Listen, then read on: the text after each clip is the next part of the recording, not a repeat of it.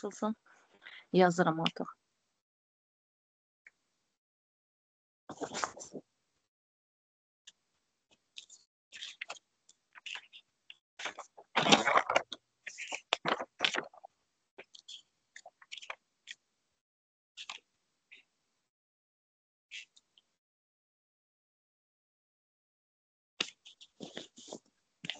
Müəllimlərin əksəriyyəti WhatsApp-la qoşulduğuna görə.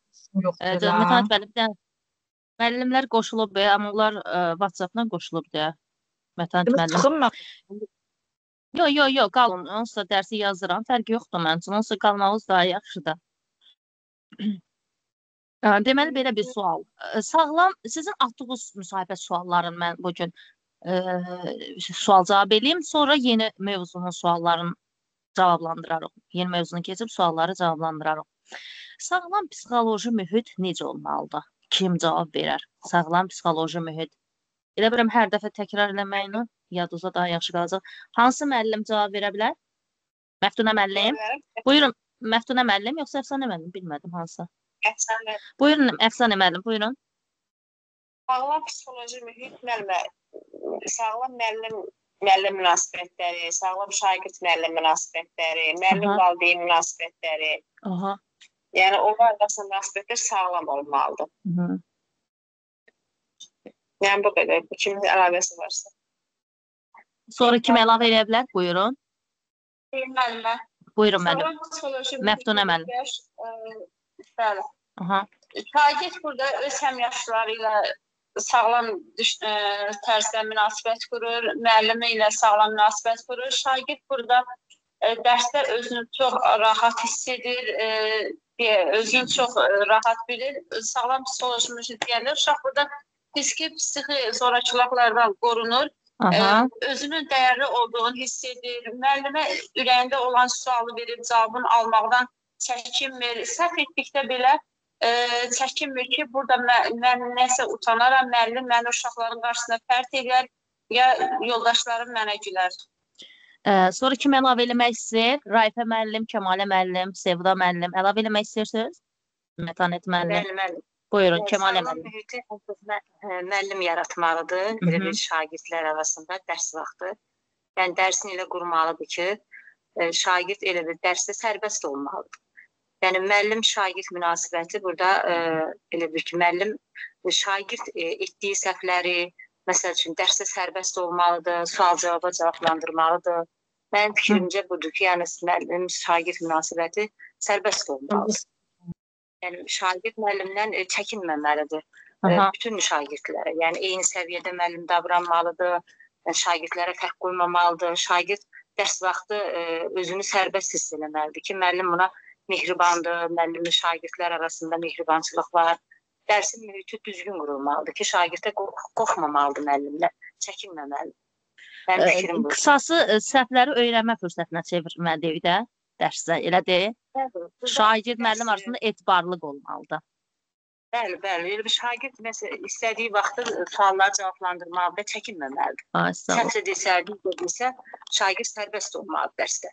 Kompromisdə e, effektiv, konstruktiv rəy olmalıdır. Yəni şagirdə bir növ şagirdlə müəllim arasında effektiv, konstruktiv rəy olmalıdır ki, şagird çəkinmədən sualını verə bilsin müəllimə. Sonra situasiya e, deməli, e, situasiya yaranarsa, nəsə bir çətin vəziyyət yaranarsa, kompromisdə gəlmək lazımdır, konfliktsiz amma. Elədir? Bəli, bəli. Yəni o cür, yəni şagird hüquq vəzifələrini bilməlidir, müəllim şagird, şagird müəllim, müəllim valideyn münasibətlərində bir-birini anlamalıdırlar. O zaman biz sağlam psixoloji mühit yaradarıq. Əla. Sonra ikinci sual. Oxuyub anlamanı necə həyata keçirirsiniz? Oxuyub anlamanı müəllimlər necə həyata keçirirsiniz? Mən deyə bilərəm. Buyurun. Mətanət müəllim, Cavadova Mətanət müəllim, buyurun. Daxlandırdım deyə ona görə müdaxilə eləmədim mən orada. Buyurun, eybi yox, buyurun müəllimə. Anlamanı belə həyata keçir. Yəni bizim fənnimiz ə, xarici dil olduğuna görə birinci mən ə, bizdə həmişə yəni biz ə, uşaqlara dərsini eləyirik, mətn verilir bizdə həmişə bir kiçik. Onu mən özüm birinci oxuyuram, uşaqlara tərcümə eləyirəm. Sonra ə, ə, verilən lüğətdəki sözləri uşaqlara lövhədə yazıram tərcüməsinə bərabər. Sonra uşaqlarla bərabər ə, mən d- dərsi əvvəldən yəni icra elədiyimə görə uşaqlara mətndəki ola bilər ki, lüğətdən də əlavə başqa bilmədikləri sözlər də olur da. Onlardan özüm də yenə əlavə yazıram. Üstəgəl uşaqlara da müraciət edirəm ki, yəni bilmədiyiniz bu sözü bilirsiniz, bilmirsiniz. Onlarla da yəni elə məsləhətləşə məsləhətləşə yenə əlavə sözlər yazıram. Ə, sonra belə bir şey də eləyirəm. Ə, nədir onun adı? Listeninglər var da, tracklər var. Ə, onlardan da ə, açıram, dinlədirəm. Ə, o gedə-gedə onu da tərcümə edirəm uşaqlara nə dediyini. Sonra gələn dəfə növbət dəfədə yəni Dinləyib o da müəllimə. Necə? Dinləyib anlamaq. Dinləyib anlamada ən çox listeninglər istifadə edirik. Listeninglər dinləyib anlamada istifadə olunur. Oxuyub anlamada müəllimə bir də ki, bilirsiniz neyini? Məsələn, oxuyub anlamanı necə həyata keçirə bilərik? Səsli, səssiz həyata keçirə bilərik, elədir? Uşaq ə, ucadan da oxuya bilər, deyə bilərik ürək üzə də oxuyun. Sonra növbəli oxuda bilərik. Deyərik filan məsələn hissəni bu gün ə, Sevda ə, Sevda oxusun, bu filan hissəni Sevil oxusun. Ə, Sonra şuurlu oxu tərtib eləyə bilərik. Mətnin hekayə xəritəsini tərtib eləyə bilərik. Mətnin planını tərtib eləyə bilərik. Mətnin ideyasını tərtib eləyə bilərik. Biz çox variantlardan ə, oxuyub anlamanı həyata keçirə bilərik. Məsələn, mövzu verirsən, hissə-hissə hər şagirdə. Məsələn, bir Ha, abzası deyirsən, Əli sən oxu, bir abzası ə, Vəli sən oxu ə, və oxu, danış. Sonra deyirsən ki, oxu, danış görüm necə öyrənmisən. Necə öyrənirsən. Yəni bu ə, formada biz oxuyub anlamanı həyata keçirə bilərik. Oldu müəllimlər? Hamımızın fikrinə qulaq asacağam. Axşamınız xeyir. Hamının fikrinə qulaq asacağam, amma sonra da ə, sizin sizlə bərabər verdiyi cavablarla bərabər mən də o ə, cavaba yekun qoyacağam ki, yəni bu cür də bu cür desiniz ə, daha yaxşı olar. Sizin də düzdür. Bə-. Bəli, buyurun müəllimə. Əlavə eləyin. Mən oxuyub anlamanı mən ə, belə bir formada keçirdərdim. Məsələn, ə, sinifdə uşaqları qruplara ayırardım. Əgər xüsusilə mətn böyükdürsə, hər qrupa müəyyən bir abzası verərdim Hı -hı. və sonra orada yəqin ki, hamımız elə işləyirik onsuz da liderlər olur da. Aha. liderlərlə yanaşı o biri qrup üzvləri də işləməlidir də, mütləqdir bu. Və orada həmin o liderlər ki, hansı ki, ə, onlar mətnin məzmununu paralel qruplarla elə bir ki, bir birinci hissəni ikinci qrupa danışmaqla, ikinci ə, ikinci qrup digər hissəni danışmaqla, yəni ortaq məxrəcə gəlmək olar və məncə bu iş, iş üsullarından hansındasa da var. Ay sağ ol. İndi yaxşı, indi burdan belə bir nəticəyə gəl. Belə bir sual yaranır oradan. Oxuyub anlama zamanı hansı üsullardan istifadə edirik? Hansı? Ən çox məşhur olan Üflərmiş, qrup etmiş. Ay sağ ol. Zigzag var, insert var, sequen var, qızıl dairə var. Onlar da inşallah özü qabağa atacağam sizə. İndi gələn dəfə qiymətləndirməni götürərik. Ondan sonra ə, etap etap mən o onları da atacağam. Onları da oxuyarsınız, öyrənərsiniz ki, birdən işte ə, nəsə bir üsullara aid sual olsa cavablandıra bilərik. Yaxşı, dördüncü sual. Oxuyub anlamanın əhəmiyyəti nədir müəllimlər? Oxuyub anlamanın əhəmiyyəti nədir? Məntiqli düşünmə yaradır məncə. Məntiqli düşünür. Şagird məntiqli düşünməyə vadar edir şagirdi.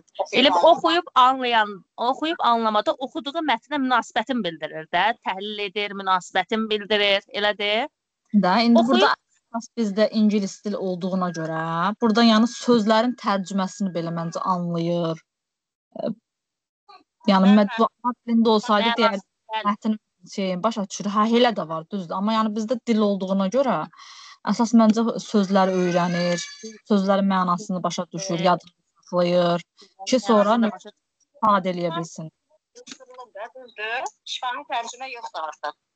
Şagird elə bir ki, Şifahi tərcümə deyəndə müəllimə, qabaqları biz e, yəni əvvəl neyinirdik kurikulumdan əvvəl? Götürürdük uşağa mətni verirdik də e, əvvəlki metodla. Uşaqlar başlayırdı, tərcümə eləyirdi Azərbaycan dilinə, gəlirdi sözləri yazırdı e, ingilis dilində tərcüməsinin qarşısına, amma bu gün onu tələb eləmir. Mətn verir, sözlər verir, mətnin ideyasını deyir çıxart, sözləri mətndən tap, cümlədə işlət, mətnin məqsədin nə, nə bilim e, tap, sonra nəticə çıxar, ideyasını tap. Yəni bizə sırf Azərbaycan demək olar ki, Azərbaycan dili kimi artıq mətnlər düşür. Yəni bizə demir ki, bu gün onu tələb eləmir ki, get mətnin ə, tərcüməsini elə Azərbaycan dilinə. Artıq o yəni icazə də verilmir ki, ingilis dili dərsidirsə, sırf dərs 45 dəqiqə ərzində ingilis dilində keçməlidir. Yəni şagird hiss eləməlidir ki, ingilis dili dərsindədir, Azərbaycan dili dərsində yox.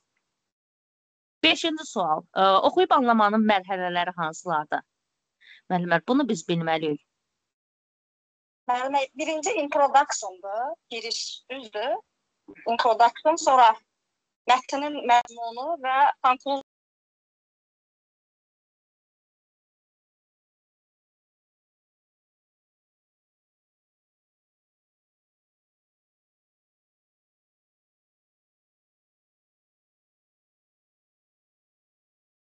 Səs gəlmir. Kimsə danışır.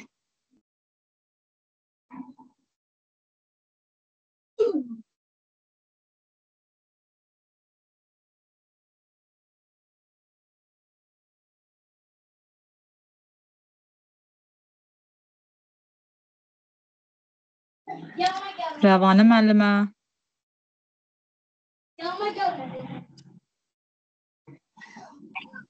Səs bilmədimi bağlanıb müəllimə. Dinləyib anlamayın, ə, mətanət müəllim bilmədim, Vüsalə müəllim o səs bağlanmışdı. Dinləyib anlama ilə oxuyub anlama arasındakı fərq nə idi? Aslında mən oxuyub anlamanın ə, mərhələlərini eşitmədim axı mən. Səs getdi. Oxuyub anlamada şagird oxuyur, hı. özü oxuduğunu dərk edir. Dinləyib anlamada isə müəllim oxuyur, şagird onu dinləyib dərk edir. Hə. Düşünür, dərk edir. Dinləyib anlamada nə edir? Aha. Onu bilirəm. Mərhələlər yazıb burada. Mərhələ nədir? Birinci mərhələ nədir? İkinci mərhələ. Elə varsa onu deyin yazaq sırayla. Atacam onları müəllimə birazdan. Yaxşı, dinləyib anlama ilə oxuyub anlama arasında fərq nə idi? Birində mən oxuyuram, uşaqlar dinləyir. Birində də uşaqlar oxuyur, mən dinləyirəm. Oxuyub anlama ilə din, e, dinləyib anlamada fərq nə oldu? Dinləmədə nə edirik? Dinləmə, dinləyib anlamada şagirdlər e, dinlədiyinə görə e, dinləyir, mətni dinləyir, ona münasibət bildirir, ona aid suallar verir. E, suallara e, suallar verilir və onlara cavablandırırlar. Hadisələrə münasibət bildirir. Amma oxuyub anlamada nə olur? Hmm. Mətni oxuyur, oxuyur, uşaq dərk Hə, edir. mətni dərk edir. edir. Ay. Oxuduğu mətni dərk Oxuduğu mətn nə edir? Dərk edir. Dərk dərk Oxuyur, o oxuduğu mətndə oxuduğu mətnə münasib yox, yenə də münasibət bildirəcək, təhlil eləyəcək. Dər dərk edir, münasibət bildirir də, təhlil Hə, eləyir. dərk edir, təhlil edir, münasibət bildirir. Dinləyib anlamanı necə həyata keçirirsiniz? Dinləyib anlamanı. Müəllimə deyə bilərəm. Bəli, buyurun. Raifə müəllim. Bəli, ibtidai siniflərdə ə, dinləyib anlamalı. Məsələn, mətni müəllim oxuyur, şagird dinləyir. Mhm. Yəni bu şagirdin elə bil ki, əsas ə, resursu müəllim olur. Aha. Amma yuxarı siniflərdə bunu videoroliklərdən, müxtəlif va- m, İKT vəsaitlərindən istifadə etməklə həyata keçirmək olar. Dinləyib Bildim. Dərslərin listeningləri var. Onları açırıq, uşaqlar dinləyir də. Sonra soruşuruq ki, uşaqlar burdan nə başa düşdünüz? dinlədirik, mətni dinlədirik, planını qururuq, yadda qalanı kimi danışırlar. Elədir. Listeninglər plan qurur, yadında qalan kimi danışır. danışmasıdır? Yaxşı. həyata həyata keçirməyi, yəni prosesi İKT vasitəsilə olur da yuxarı siniflərdə. İKT-dən də istifadə etmək olur da. Dinləyib anlama zam- anlama zamanı hansı strategiyalardan istifadə etmək məqsədə uyğundur? Məsələn, Yəni təlim üsullarını deyirsiniz də strategiya, yollar. yollam. Məsələn, oxumaqda, oxuyub anlamanın strategiyaları hansılardır? Oxu məqsədi qoyursan qarşıya, proqnoz verirsən, oxu zamanı mənasız şeylər ayırd edirsən, oxu zamanı suallar verirsən, elədir? Dinləyib anlamada nə edirsən? E, dinləyib anlamada hansı strategiyalar olacaq? Orada da dinləmə məqsədi qoyulur, elə deyil? Sonra yenə də burada mənasız şeyləri ayırd edirsən və dinləmə zamanı suallar verirsən. Deməli, məqsəd proqnozlaşdırma və məqsəd olacaq, ə, proqnoz verəsən, sonra həmin ə, dinlədiyin mətnə aid suallar verəsən. Həmin bunu ə, inter internetdə də Google-da da yerləşdirmişdilər. Səhv eləmirəmsə Dövlət İmtahan Mərkəzinə aid idi. Oradan götürmüşdüm bu hissəni. Yəni oxuyub anlamada strategiyalar vermişlər, oxu məqsədi qoymaq qarşısına, proqnoz vermək, oxu zamanı mənasız şeyləri ayırd eləmək, oxu zamanı suallar vermək. Buradan da belə nəticəyə gəlirik ki, dinləyib anlamadısa, dinləyib anlamada da ə, dinləmə zamanı suallar verilir, ə, dinləmə məqsədi qoyulur, ə, proqnozlar verilir. Yəni də mənasız şeyləri ayırd edirsən. Sonra cütlərlə işi nə zaman həyata keçirmək olar? maraqlı sual. Nə Dərs zaman zamanı. dərs zamanında olacaq? Dərs zamanı keçirsən, e, nə zaman həyata keçirə bilər? Məsələn, fər fikirləşin ki, iki dənə ə, fərqli uşaqdır, hə, dünya görüşü fərqli. Onları ə, cütlərlə işlədə bilmərik axı. Onları eyni ə, məsələn 2 nəfər götürmüsən, dünya görüşü tamam fərqli. Onlara eyni sual verə bilmərik. Elə deyil. Çünki onların dünya görüşü fərqlidir.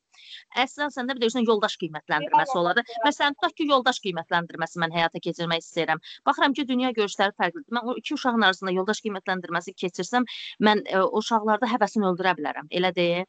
Deməli, mən dünya görüşləri uyğun olmalıdır, bir-birinə münasibətləri birinci yaxşı olmalıdır, yəni dost kimi olmalıdırlar da, düşmən kimi olmamalıdır ki, yəni qiymət ə, veriləndə də ə, əslində yəni elə bizim prinsipimiz odur ki, uşaqlar arasında ə, yoldaş münasibəti yaxşı olsun münasibətlər aralarında.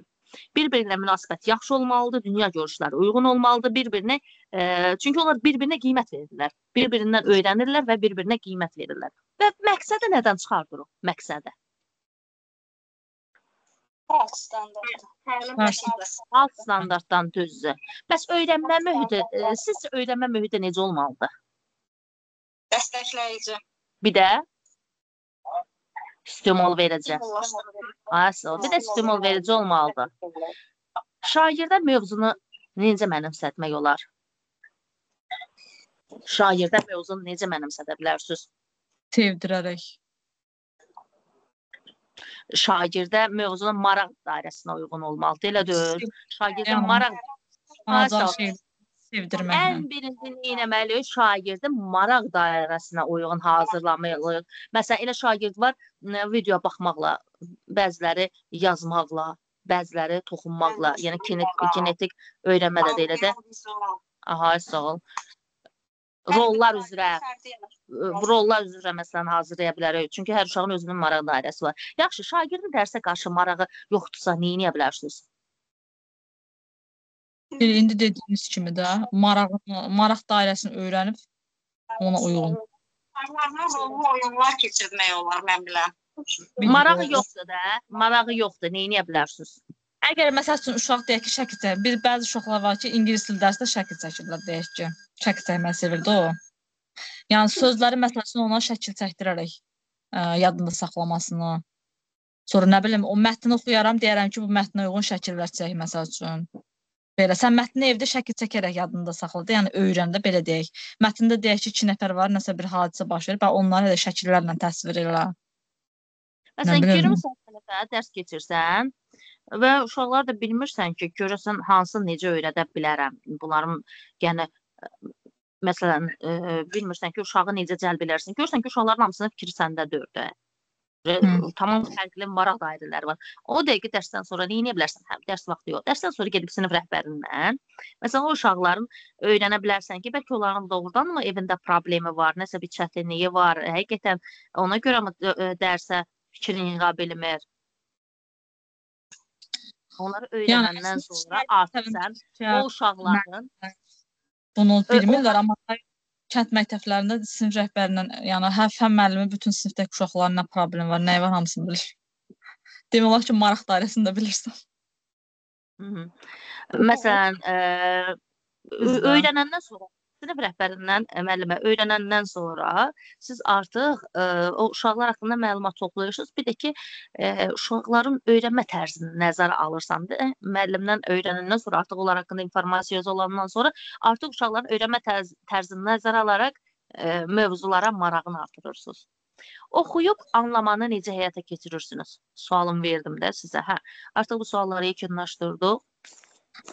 Deməli dərsə maraq yoxdursa, dedik rollu oyunlardan istifadə eləyərik. Sonra nələrdən istifadə eləyərsiniz dediniz? Mən şəkil çək. oyunlardan. Şə, məsələn sən siz sən məsələn şəkil çəkməklə fikirləşirsiniz e, şagirdin.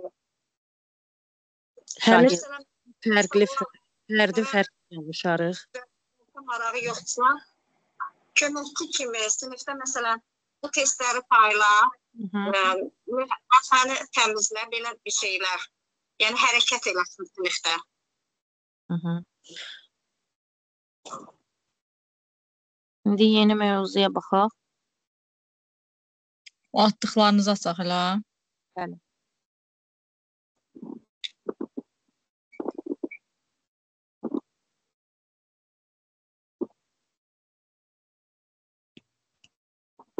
Təlim prosesində səmərəli öyrənmə Yo, yo, bu dördü. Bir dəqiqə bundan sonraki mövzu idi. Bunu keçmişdik. Hə, bir dəqiqə. Nə atmışdıq axı? Bunu atmışdım da, hə? Ha, bu Təhlükəsiz, deməli. hə, təhlükəsiz öyrənmə mühiti, düzdür.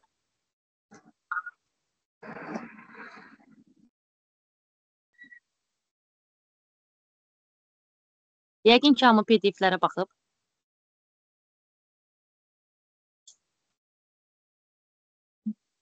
Hı, Bir dəfə üstündən keçmişəm mən. 2 dəqiqə gözləyin mənimə gəlirəm. Bir dəqiqə, hamınızı göz-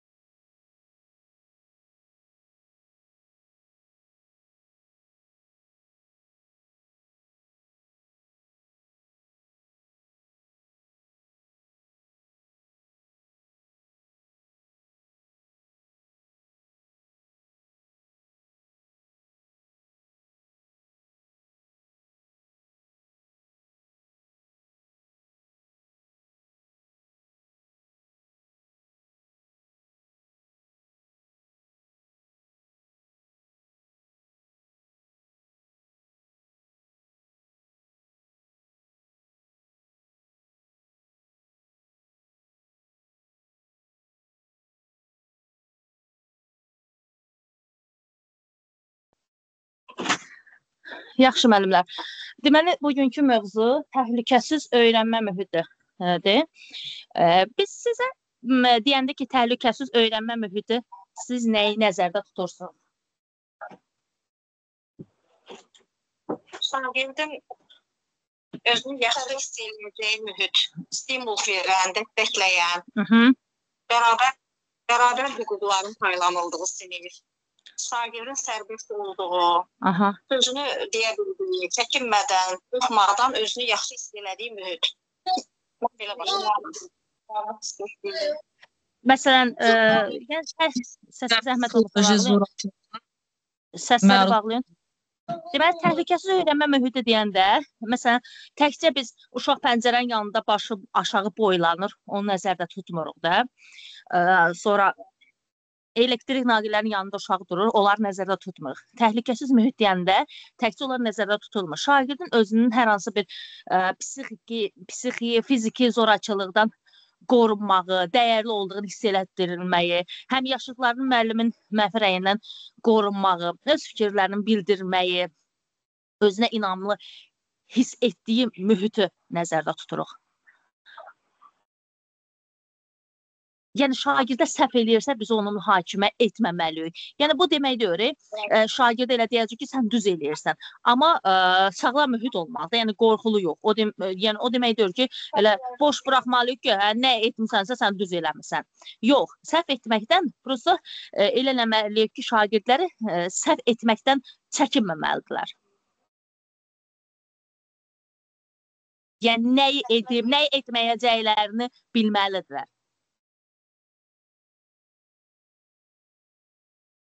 Yəni bir də onları valideynlə, mə- məktəb rəhbəri ilə belə qorxuzmaq olmaz. Əlbəttə, Yəni şagirdin sən valideyn zəng eləyəcəm, ya ay səni direktorun yanına aparacağam, belə qo- qorxular da həbərlər də Əlbəttə. uşağa. Yəni onlar səhv etməkdən çəkinməməlidir. Çəkinsə onda onlar elə biləcəklər ki, elə hər bir addımları onlar üçün ə, səhv olacaq. Bəs effektiv öyrənmə nə vaxt baş verməz sizcə? Effektiv öyrənmə nə vaxt baş verməz? Effektləmə olması burada bir-birlərinə hörməti gözləməzlər, münasibətlərdə kobudluq edərlər. Yoldaş yoldaşın fikrini dinləməz.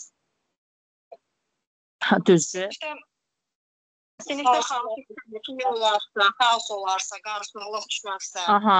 burada Şa effektiv testdən danışmaq olmaz. düzdür müəllimə. Sonra şagirdləri qorxada ə, qorxudarıqsa, əgər müəllim şagirdi qorxudarsa, onlara hədə qorxu gələriksə, direktorun yanına sən aparacam hər addım başı valideyninə zəng eləyəcəm, sən ə, pis şagirdsən, sən filan şey elədin. Yəni əlbəttə onda effektiv mən orada öyrənmə mühiti yarada bilmərəm.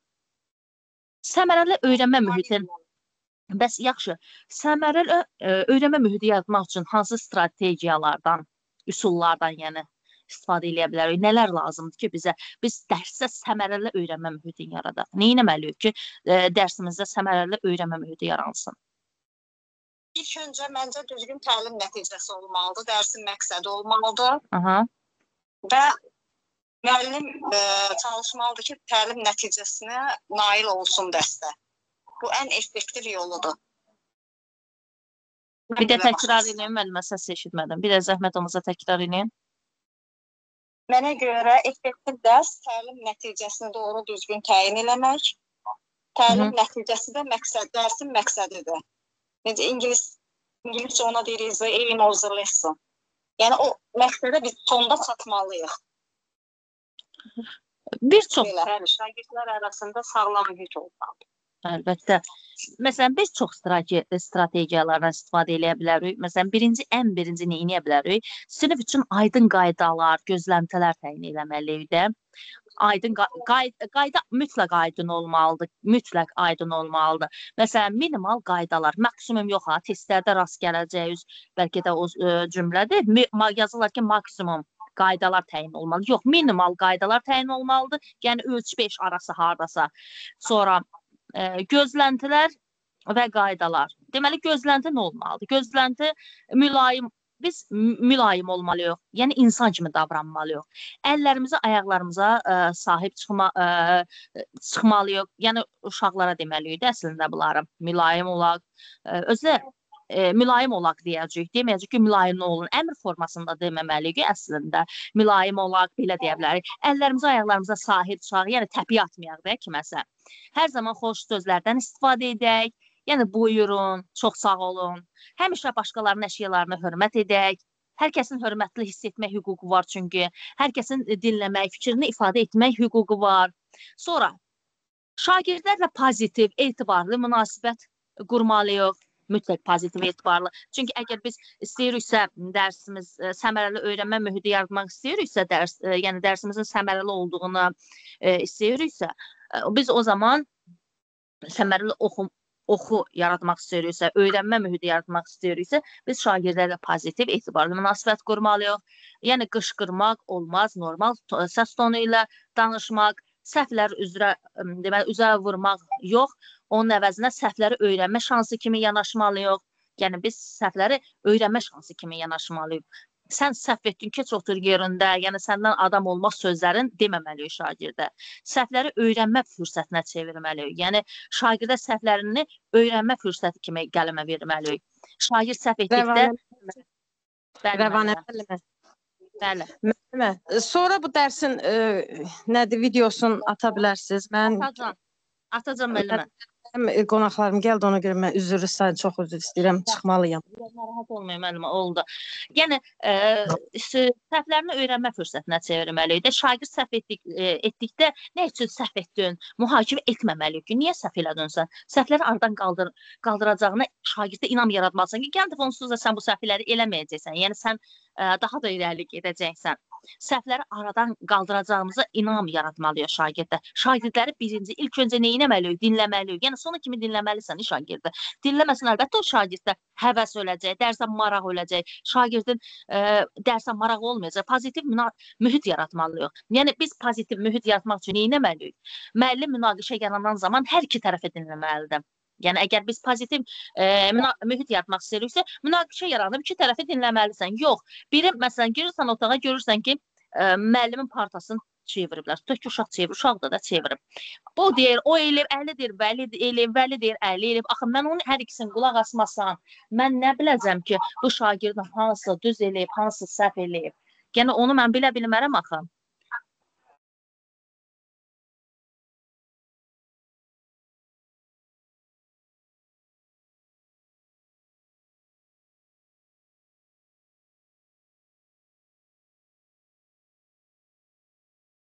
Deməli, neyin çox üzr hez, ə, üzrlə hesab edirəm müəllimə. Otağa girmişdilər deyə səsi bağladım. Sizə səs getməsin. Ə, Deməli, məsələn, deyirsən ki, e, deyirsiniz ki, filan kəs sən pəncərəni qırmısan, yaxud da filan kəs sən bu partanı niyə aşırtmısan? Uşaq artıq bilmirsən kim eləyib. Çünki əli deyir vəli eləyib, vəli deyir əli eləyib və buna görə mən nə etməliyəm? Hər iki uşağı dinləməliyəm və ondan sonra mən qərarımı verməliyəm ki, səhv kimdədir? Yəni hər ikisini dinləməliyəm.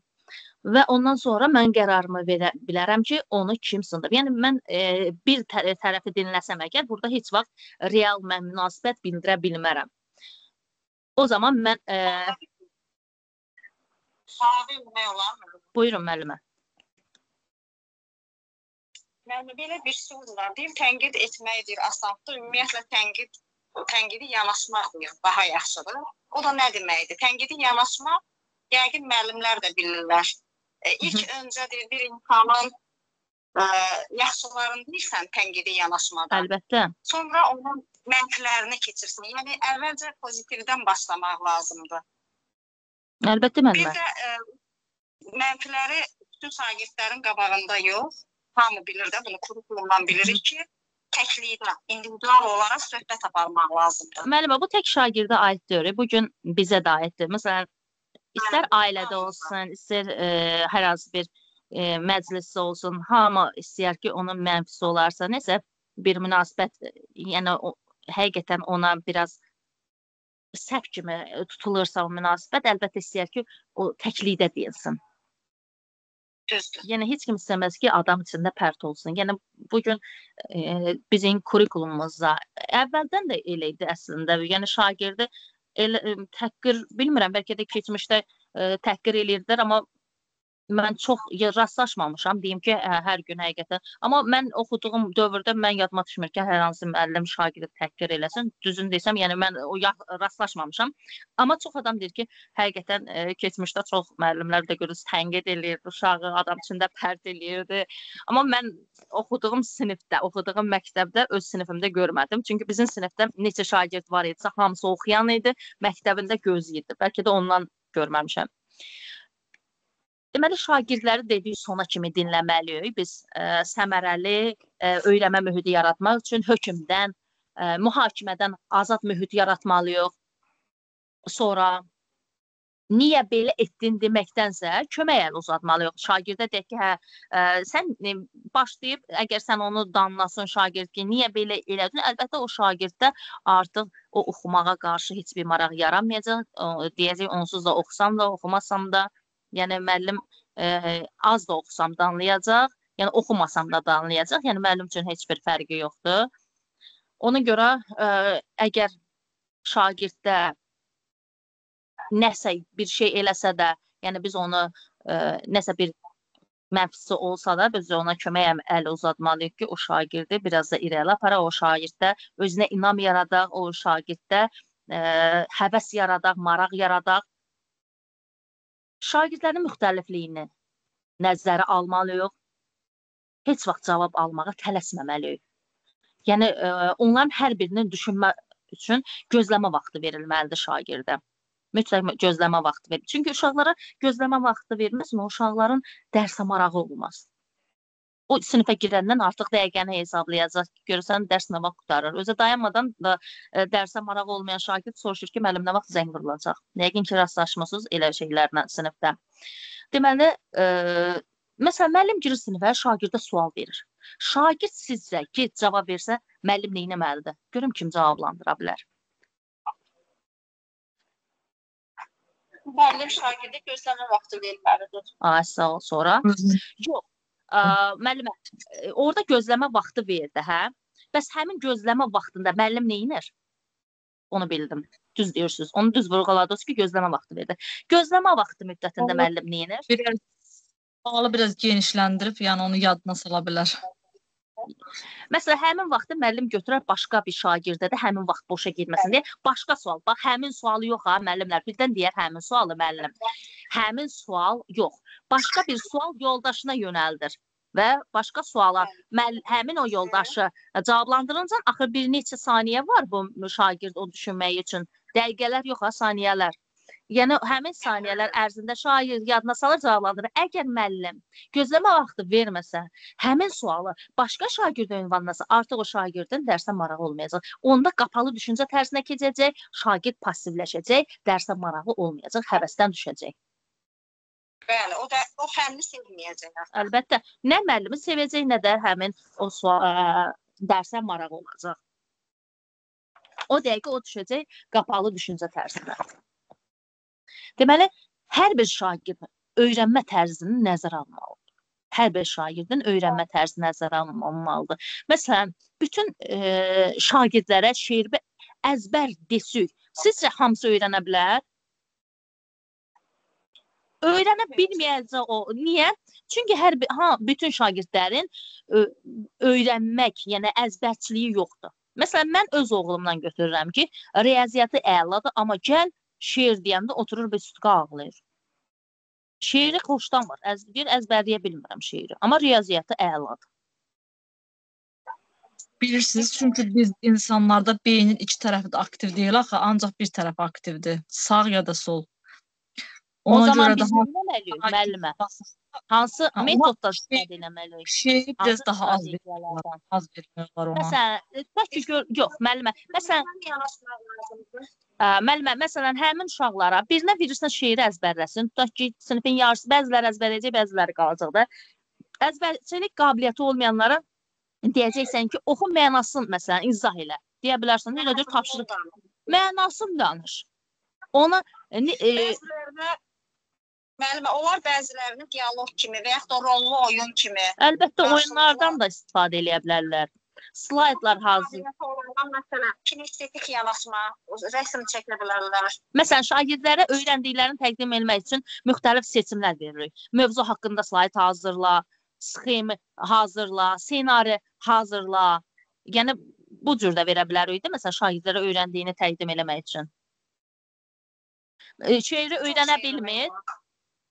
Məsələn, başqa ə, onun əvəzinə müxtəlif seçimlər verirsən ki, öyrəndiyi təqdim elə, müxtəlif seçimlər verirsən. Mövzu haqqında slayd hazırla, sxem hazırla, ssenari hazırla və s. Şagirdləri bir-biri ilə müqayisə etməməliyik. Bunlar hamısı nəyə aiddir? Bunlar hamısı səmərəli öyrənmə mühitinə aiddir.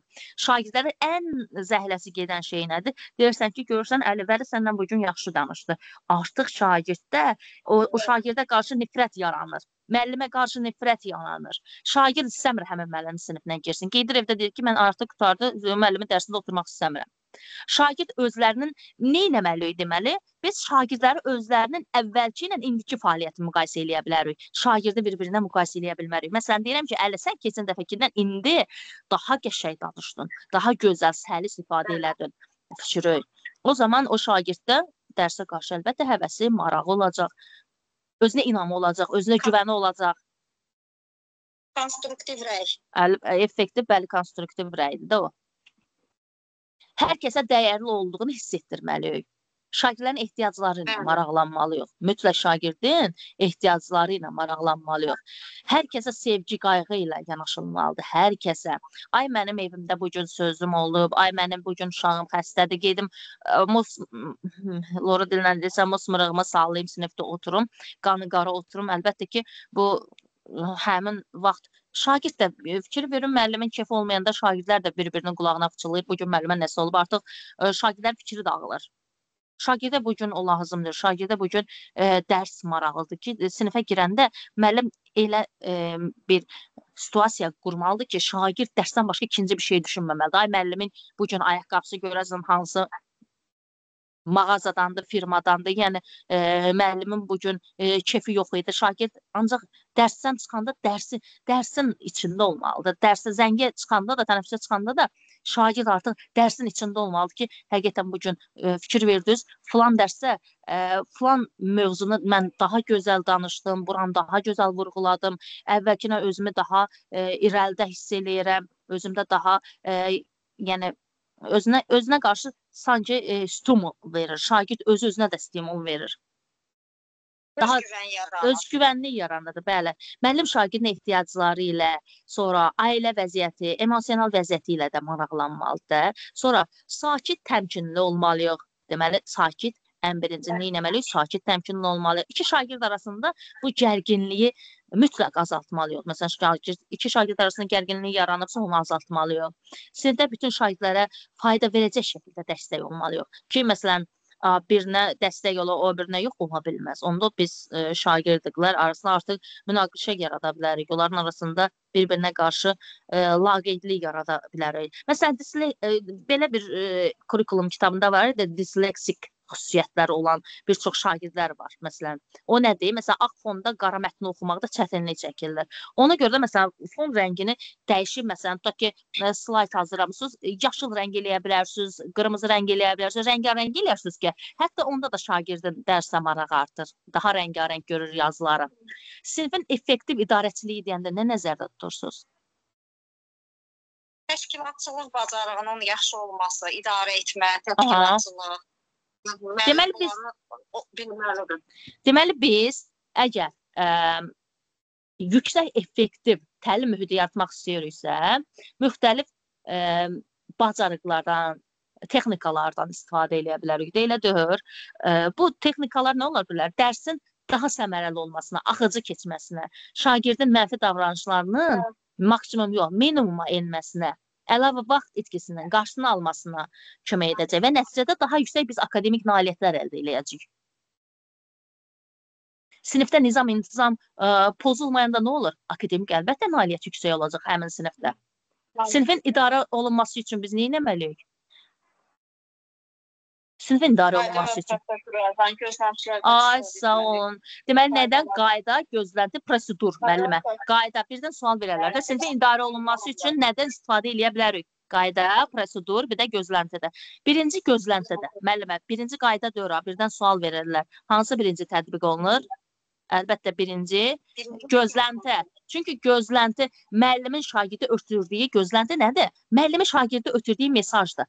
Dərs ilinin əvvəlində özü şagirdlərə çatdırılır ki, gözlənti. Məsələn, bu, belə eləyəcəksiniz, belə məsələn ə, sinifə gələndə bu bu ə, sizdən bunları gözləyirik. Yaxşı oxuyun, axırda sizi mükafatlandıracağıq, amma pis oxusuz, ə, sizə ə, yəni mənfi rəy olacaq, qayıblarınız çoxalacaq, sinifdə qalmaq ehtimalınız yüksələcək. Əlbəttə onda əlbəttə onda ə, şagirdin dərsə marağı artacaq.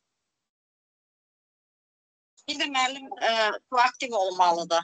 Hə, bəli, proaktiv olmalıdır. Proaktiv deyəni odur ki, e, reaktiv nədir, proaktiv nədir? İndi demişkən ona da keçə, o- istəyirsən ona da bir dənə əlavə eləyim ki, proaktiv, yəni müəllim qabaqcadan planlı olur da. Sinifə girəndə artıq bilir ki, hansı qaydaları tətbiq eləyəcək, nə edəcək, işi nədir, o müəllim artıq bilir sinifdə. Amma e, reaktiv odur ki, e, necə?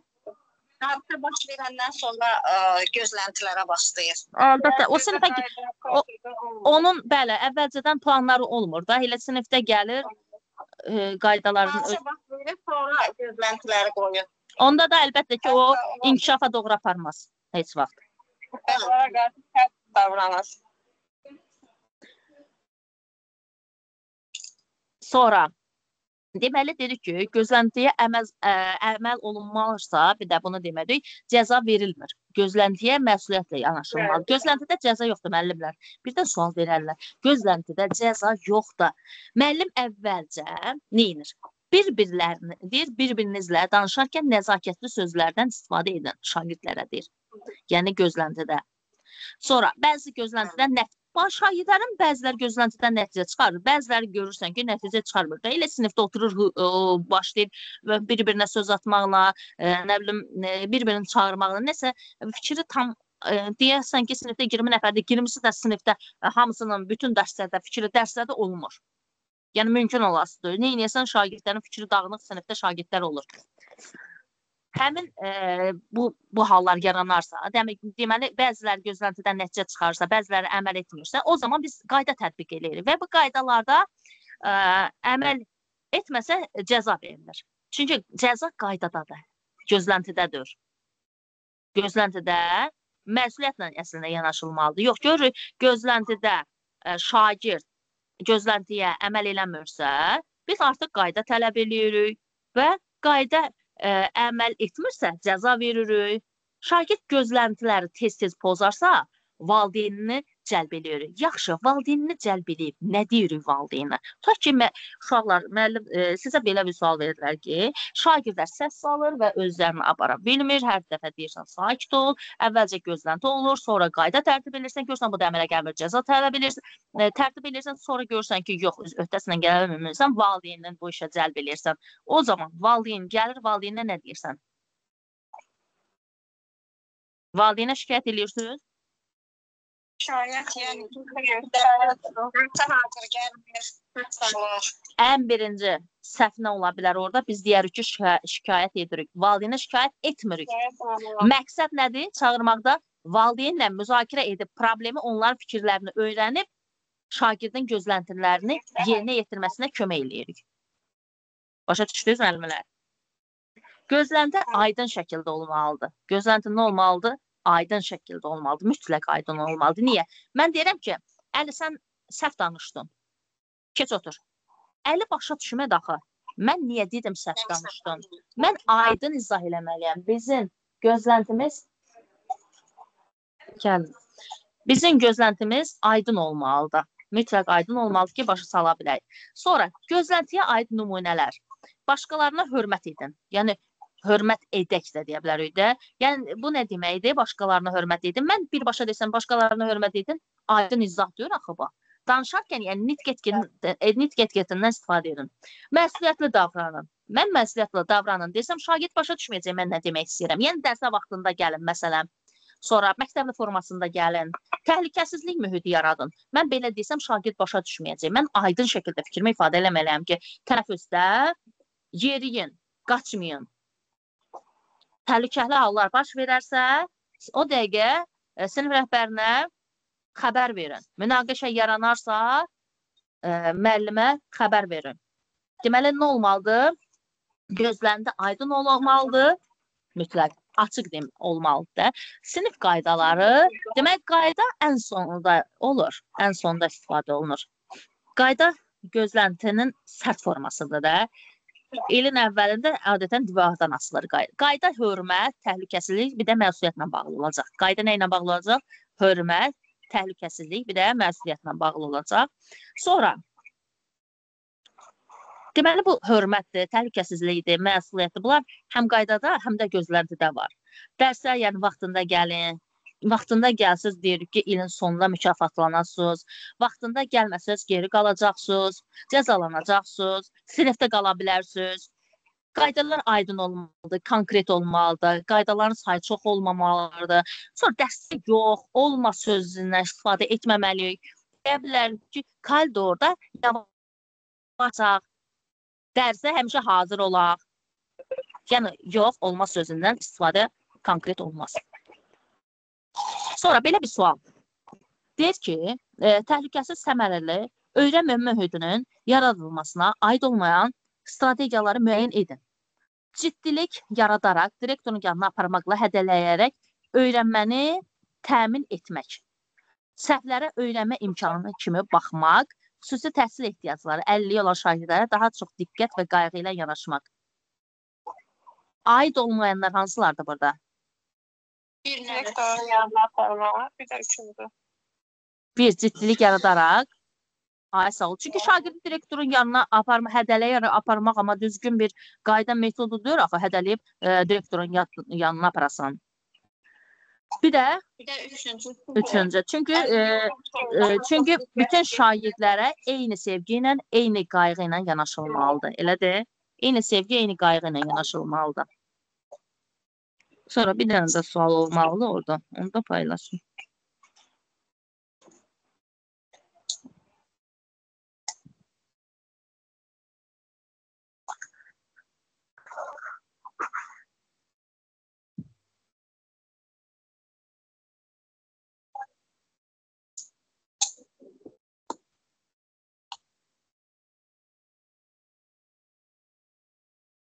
Bu baxın müəllimlər. Hə, tapdım. Siz də yəqin ə, orada tapdınız. Bir dənə də sual. Hə.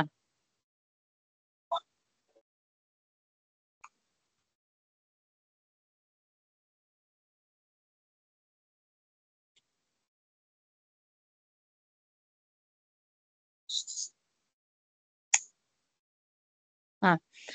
Bax, dəqiqə silindi. Hayırdan. da. Aha. Deməli, deyir təhlükəsiz. Ekran paylaşımında atmışam. YG şəxsdə siz özünüz gördünüz qrupda var. Təhlükəsiz və səmərəli öyrənmə mühitinin yaradılmasına aid olmayan strategiyaları müəyyən edin. Müəllim suala gec cavab verən şagirdə dəstək olmaq üçün sualın cavabını özü söyləyir. Düzdür, səhvdir? Çünki müəllim gec cavab verənə vaxt verməlidir, elədir?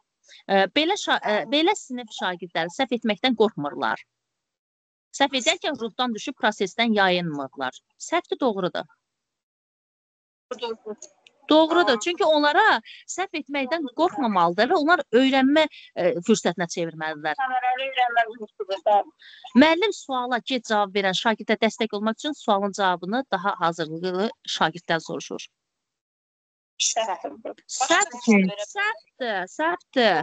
Çünki gec cavab verəndə artıq dost ə, başqa yoldaşa başqa sual verəcək. Həmin sualı verə bilməz. Bəli. Ona Bəli, gözləmə vaxtı verəcək. Həmin şagirdə gec cavab verən də gözləmə vaxtı verir. Sinifdə konflikt baş verərkən tərəflər hadisənin nə baş necə baş verdiyini şərh etm etmələri, həmçinin onların nəyin, niyə narahat etdiyini tam izah etmələri üçün vaxt verir. Doğrudur. Doğrudur.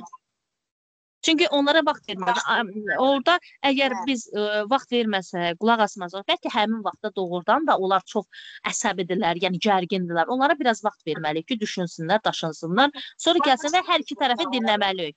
Necə? Suallar paylaşılıb yoxsa şahid deyirsiniz? O sualı qrupda ə, mövzunun Müəllimə içində idi.